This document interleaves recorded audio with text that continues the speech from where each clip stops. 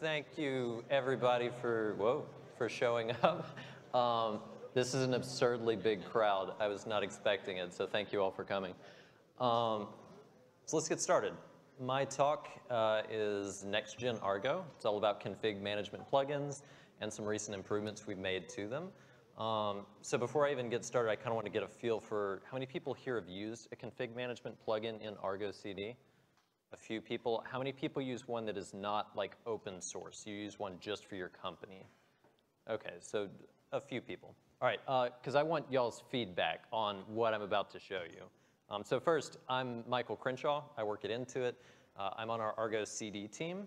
Intuit runs about 40 Argo CD instances and about 20,000 applications. So my team is responsible for keeping that up and running uh, for all of Intuit. Um, my coworker Sindhu couldn't be here to present in person, uh, but she developed the stuff that I'm about to show you um, to a great extent, and I'm going to have a demo video from her uh, after I do some introductory work. So first, uh, most people probably know this, but just to contextualize the component that I'm going to talk about in Argo CD, I want to give a quick overview of what it is, what it does. So it has three basic jobs, uh, pull sources from something like Git or a Helm repository, two, transform those files into manifests, and then three, apply those manifests to Kubernetes. Um, the part that I'm gonna focus on is called repo server, and that's a pod that runs with Argo CD.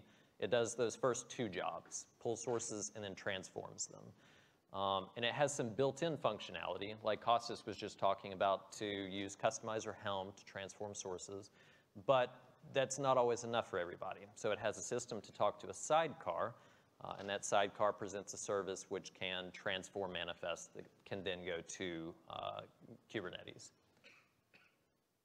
Why would anyone want to use a CMP? So that's config management plugin, and I'll probably just refer to them as plugins most of the time. Um, the first main reason people will use them is to use an unsupported tool. So out of the box, Argo CD will let you use Helm, Kustomize, Jsonnet, or just plain old manifest files. If you want to use something like Grafana Tanka or YTT uh, and Carvel, then you might want to use a plugin for that. That's how you'd add support. Second reason is maybe um, one of the built-in tools doesn't support the feature that you want uh, within Argo CD. Uh, so things like Helm plugins or like Kustomize 5.0 just came out, and I know there's some things in that that we don't yet integrate with. Maybe you need that now, so you write a plugin to enable that feature for your, uh, for your organization. And then finally, a lot of folks find it useful to do post-processing on uh, manifests. So common one is injecting secrets. I've seen people actually trigger side effects. So whenever uh, manifests are rendered, they want to trigger some other job for whatever reason. Um, plugins are a good place where you can hook in and do that. Uh, so the problem that we wanted to solve with plugins is that the UI isn't super rich. So if you've used Argo CD with Helm, um, what you're going to be used to is not this, this is the plugin interface, but what's on the right. You get rich integrations, you can set uh, values files, set parameters. They're all laid out for you, and the user doesn't have to go hunt things down in order to know how to configure um, Helm. On the other hand, the CMP UI, up until um, version 2.7, you could set environment variables, which would get passed to the plugin, but that's it. Uh, it's not communicated up to the user what environment variables the plugin expects or anything like that. You just have to know. So what we're trying to get to is what's on the left. Um, so before I explain how we've gone about parameterizing um, plugins, I want to tell you basically how you install one, and it's pretty simple. Uh, on the left-hand side, you've got a config file, and it sets the plugin's name to my plugin. Uh, it sets up a shell script, and this one's really simple. It just spits out a config map, and you can see it's got some environment variables interpolated in it. Um, and then on the right side, after you've configured your plugin, uh, you install that on a sidecar with an Argo CD binary, and it, it fires up and runs that config. On the right side, you actually use the plugin. Um, you can set the plugin name and then pass it an environment variable. And we prefix annotation there with Argo CD env for security purposes, keep people from just setting arbitrary environment variables.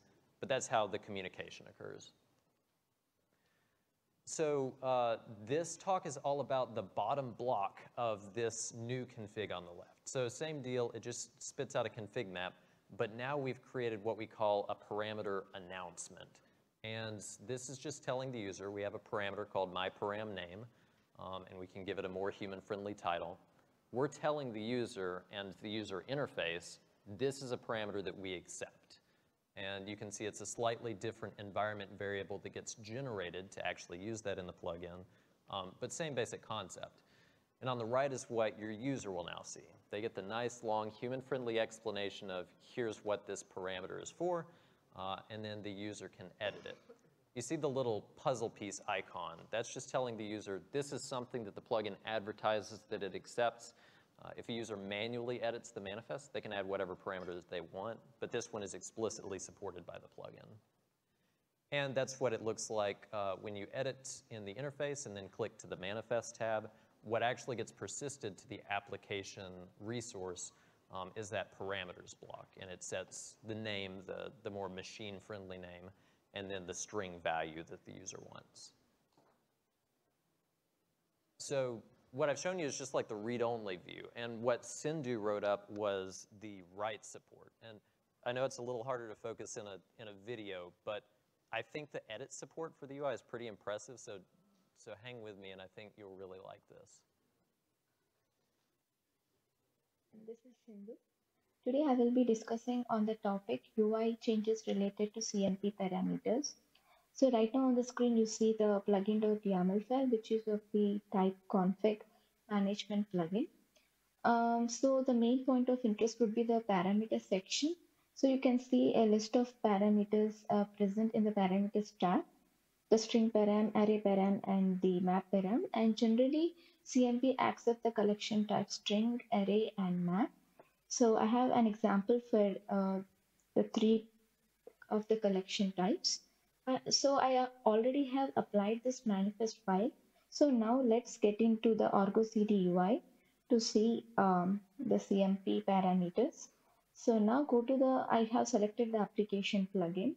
So now I'm going to app details and in under the app details, you have the parameters. So right now, all the parameters that are part of the application, uh, that are part of the CMP manifest are displayed here. So you can see that string param of type string has value value, array param of type array has a list of values, and map param of type map has a list of key value pairs. And the icon, the puzzle icon says that this parameter has been populated by the CMP plugin. So this parameter is coming, this parameter and its value is coming from the CMP plugin. Uh, you can see that all for all the parameters it's the same uh, description that it provides. So the values and the parameters are coming from the CMP uh, manifest. Uh, okay so now let's um, see what all actions we can do uh, on these CMP parameters so right now when I click on the edit you can see um, the parameters in the edit mode so you can override the values, you can add new values, you can delete values. So for example, for string param, I can override the value to values. For array param, I can delete the value. For map param might be I can add a new key value pair. Okay, so uh, right now you can see that uh, the values of these three parameters are overridden at the application level. So our application is the plugin. So we are overriding these parameters at the application level. So now these overridden parameters are stored as part of the application manifest. So right now, uh, even before uh, uh, saving this, I will cancel this and now you can see this is the application manifest and you no longer see any parameters here. So now if I go into the edit mode, okay, and now if I make some changes here, um, value 3, and for example, if I delete this key to value 2, okay, and now I save. So these three parameters all have got overridden at the application level. So these three pa parameters are stored as part of the application manifest. Okay, you can see that the changes being reflected in the parameters section. So all the new values showing up, overridden value showing up, and the deleted value being removed. So now if you go to the manifest, you can see all the parameters which have got overridden are displayed as part of the parameters in application manifest. You can see the string param, the value for array param, what are the values and for the map param you can see. So, so now if you go to the same icon, it gives us uh, info saying that this parameter has been provided by the plugin. So if the parameter name is coming from the CMP plugin, but it its value has been overridden in the application manifest. You can see that, but it is overridden in the application manifest. The same goes here. The same goes here. And the other option that we are providing here is, for example, the user doesn't want to override the values, but he wants to use the values coming from the CMP. So he can just do the reset. It goes back to the uh, CMP value. For example, even for map param, if I do, you can see those two key value pairs being uh, popped up. Um, so now since these string param and map param have been resetted to the values in CMP ma manifest, so these two parameters are no longer part of the application manifest. Only array param is part of the application manifest. So when I save this one, um, you can see that in the manifest only array param. No longer the string param and map param are values or uh, parameters of uh, uh, application manifest.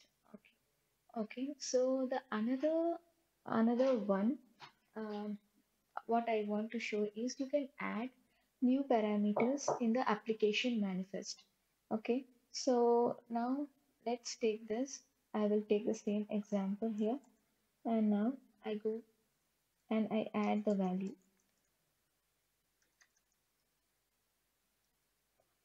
Okay, uh, let's rename to array param1 and let's delete this value 3. Okay, now I save this. Um, now you can see the same parameter being shown in the parameter section. So array param1 which has value 1 and value 2. So when I go into the edit mode, this the same type of actions can be done on this parameter as well like you can delete this value you can overwrite the values you can add new values okay? And the other option that is present for this param so this parameter array param1 is not part of the cmp manifest. It's it has been introduced at the application manifest. So um, so it doesn't have anything to reset back to. So the only option that is available for this for the user is he can like the user can delete this parameter. So when I click on delete this entire parameter gets removed. So and it no longer is seen on the parameters UI or in the manifest UI so if you go here and now if you check this under the manifest you don't see array param1 anymore. So that that is a one. And so since the string param and map param have been resetted back you can see the uh, this uh, puzzle icon saying that this parameter is provided by the plugin and this parameter is provided by the plugin. But for the array param it says that it has been overridden at the application manifest. Okay? Um, so yeah these are all the uh, so these are all the changes that I wanted to show from the CMP um, from the CMP side. And uh, this concludes my demo and uh, thank you all. Uh, in case of any questions, Michael would be happy to help. Uh, thank you. Cool. So hopefully it's clear that the user interface is pretty powerful. Like the examples here are just examples, but I think you can see that if you're trying to present a config management plugin to your users, this is going to give you the tools you need to let them uh, give you the information you need and, and present to them what they can give you. Um, oh, not play, I need to go to next slide. Cool. Uh, so what we've seen so far are all static parameter announcements. So say your plugin, you know you need three things uh, that the plugin is always going to accept. Um, sometimes you're not going to know until you're looking at a specific repository what parameters that uh, plugin is going to need. So this is kind of dense. This is a lot of code, so let me summarize it. Um, this code looks at a Helm file repository, uh, Helm file just being another tool that's sort of built on top of Helm.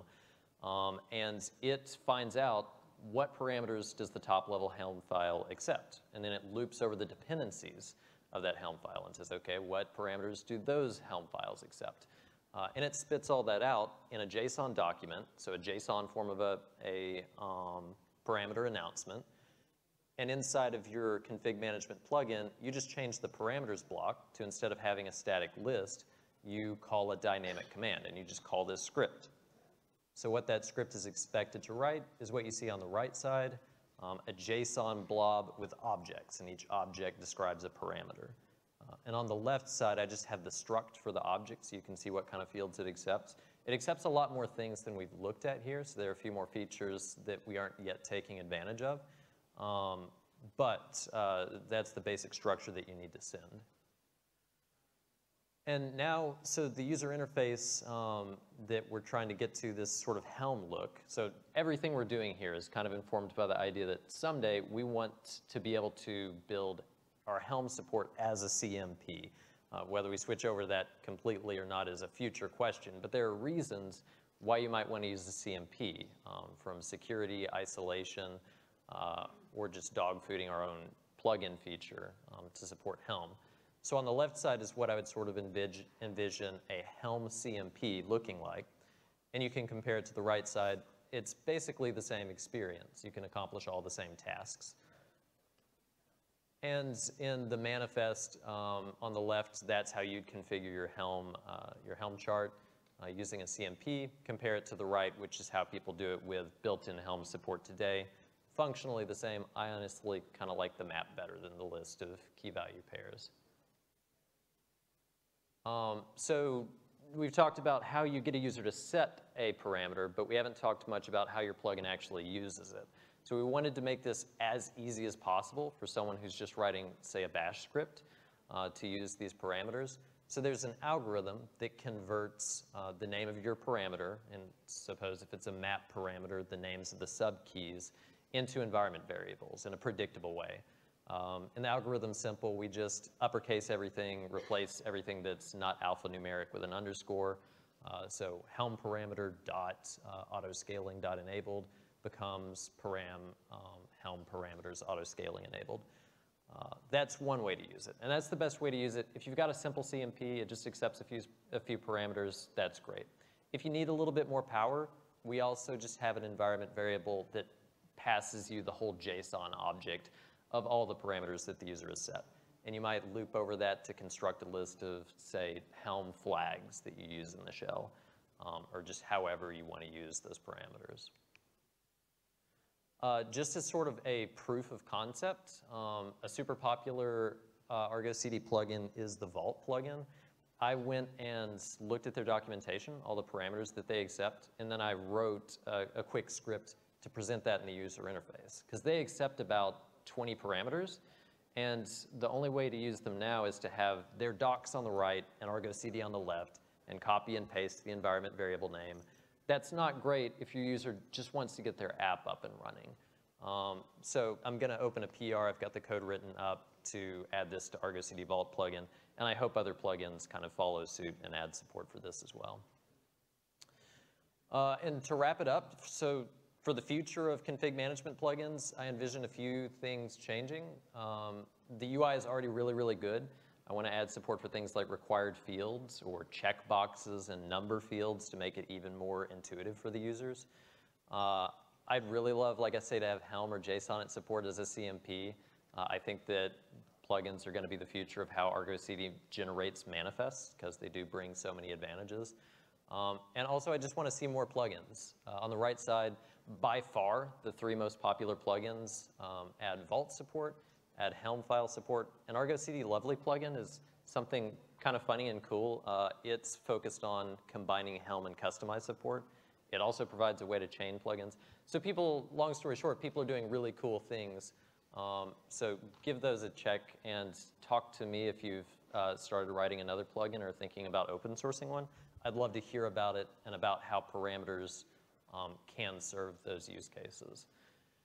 And finally, uh, this is an Argo survey that we're running right now to better understand how users use all the Argo prod products, not just CD. Like, we got to the parameterization project because we heard that users needed it. So this is the best way to communicate to us, besides just talking to us in the hall, uh, what you need in these products, and so that we can prioritize them and work on them. Um, but that's my talk. Thank you again all for coming. Uh, and questions?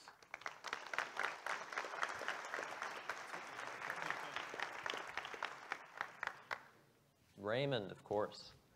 I know you use the Vault plugin. Hopefully you'll like my PR.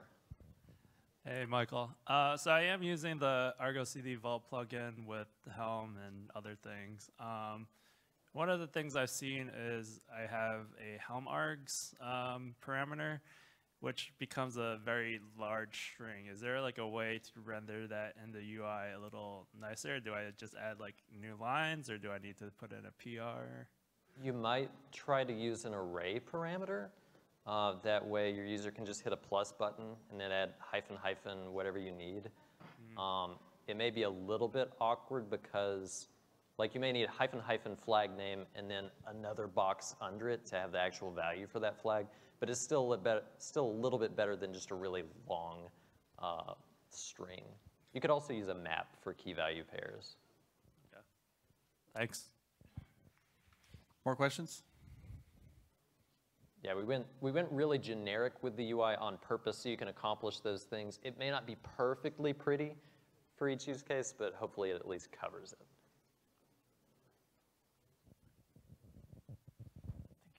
Hey, um, never used CMPs, uh, but uh, so I have a more general question about CMPs themselves. Mm -hmm. Maybe it's interesting for you. Um, if CMPs actually, uh, let's say, extend or change in any way the manifest that I have in Git, doesn't that bring up the problem that now I have something in Git that's actually very different than what ends up being deployed? Yes, so uh, I think that doing mine and Costas's talk in the opposite direction may have actually really helped because yes, um, plugins often pull in like additional sources of truth, like Vault.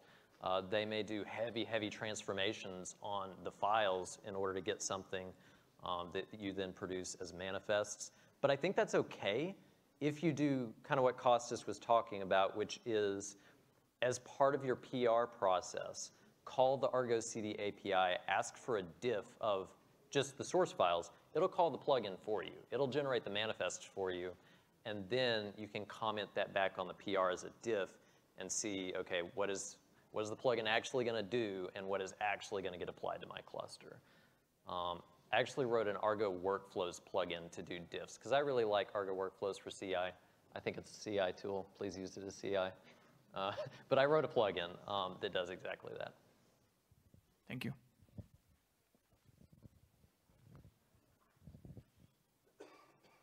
Uh, one question for you that I actually have th thinking about this is um, we've been talking about adding OCI support in Argo CD to have like our OCI as a source of truth. Uh, I think you could potentially check out OCI, you know, packages with this um, but do you, do you think that that's the right place for these to take place, or do you think that there's going to need to be some separate I service think, changes? I think other work has to happen. I was a little bit misleading on this slide. So repo server does pull sources and transform sources. Plugins have nothing to do with pulling sources. Technically, you can, like you can add credentials on your plugin sidecar and pull from wherever you want but it's not really designed as a fetching tool. It's designed as a rendering tool. I would love to build a system for Argo CD to support arbitrary sources as sort of plugins. Um, and you could hack it in right now, but that's, that's not the direction I would go as sort of a first pass at that feature. Excellent, thank you. Uh, other questions? We have time for one or two more. Sorry, I'm not into, sorry, my name is Balinder. Um, I'm not into the CMPs or plugins, uh, but we use Argo CD. Uh, my question is, is the plugin architecture easy to uh, uh, write plugins in any language, or is it Golang, or is what, what, what's the interface kind of uh, uh, for, for the plugins to be, you know, written and tested and working? Yeah, it's completely language agnostic. You pass in a command. A lot of people use shell scripts. Um, technically, we have a thin wrapper around those shell scripts, which is a gRPC service. Technically, you could write your own gRPC service and put it on the sidecar in whatever language you want, just as long as it implements the API that Argo CD expects. No one's really done that yet. Maybe if someone really needs high performance, they'll do it. Um, most folks are just happy with a command. But yeah, whatever language you want just as long as it spits out YAML or JSON Kubernetes manifests. Ooh, we got more. Looks like we have two more here. Okay. Are we doing on time? Uh, we're, we're good. We can do Okay. these. Hello. Uh, my question is how the CMP plugins work with uh, multi-source applications. They don't. Um, so, so when we wrote multi-source uh, apps, we, we really wanted to solve one very specific use case, which is people want to put their Helm values file in a Git repo and use a public Helm repository for the chart itself. Um, we got support in for that because we knew we needed it. Uh, someone, Gergely, and I'm, I don't remember his last name, but someone has put up a PR to basically allow different sources to access arbitrary files from other sources. I think it's a good PR. It would enable you to use, say, a plugin that calls Helm to use an external values file. Um, it's a big PR, and it's going to take a while to review, and I'm going to need some help from the other maintainers. But we do, we do want to move that direction and support that use case, yeah. Hi, I'm Felix. Thanks. Uh, quick question: Is there a good place to go to online where I can see all the kinds of uh, Argo CD plugins people have developed so far? Uh, we don't have a list right now. I've thought about adding one to uh, Terry's um, from Akuity's awesome Argo list, which is pretty sweet. Uh, there are four that I really know about, and three of them were listed on that last slide. Um, the extra one is uh, someone named Luc Juggery wrote another Helm file plugin, um, and there's sort of that one, and then Travis's Helm file plugin. There just aren't a lot in the open source world right now, and hopefully, like features like this are going to change that. And if you know of others, please tell me where they are, because I, I want to create a list. Yep. Uh, Another question about the plugin. Uh, What's the best way of handling errors in a plugin? Or, um, uh, Show them in a good way for the end user. Yeah. So, so do you need to shield them for security purposes, or just like give something friendly to the user? Currently, we have a Makefile plugin, and when it's failed, it's very crazy output that doesn't say the end user anything. So we are trying to improve it. So if the command exits with a non-zero exit code, we send them the standard error, and we also log the standard error. So send something sent to standard error should work then. Yeah, if you just pipe something to standard error, whatever you want the user to see. Um, and you could also potentially like write some logs to disk if there's something sensitive that you don't want to go back to the user. Yeah, but those are removed in the sidecar when the next run comes. So it's hard to get. Sure, yeah, you- It's you- hard to debug it that way, but it would Yeah. have been super if it was a way to do it. Probably, um, I've got to think about how we could enable, basically you want your debug logs and you want something that actually goes to the user. We could definitely build a mechanism for that. Uh, nothing really occurs to me at the moment that would be super easy, but that makes a lot of sense and I don't think it'd be that hard to implement once we had the idea. Excellent. Thank you, Michael. Thank you all.